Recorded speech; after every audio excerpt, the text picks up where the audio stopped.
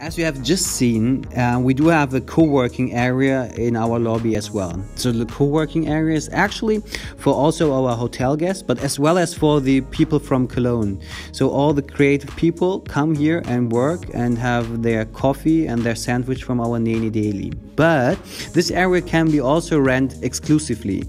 So if you're planning a networking event, for example, just let us know and we can think about to organize your event in our co-working area as well.